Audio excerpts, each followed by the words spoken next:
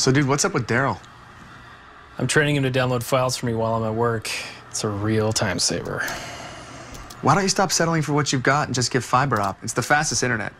And it's always super fast, even during peak hours. You make it sound like I'm missing out. Plus, FibreOp gives you the number one rated TV picture quality and the largest on demand HD library. You hear that, Daryl? Looks like you're free to make dinner.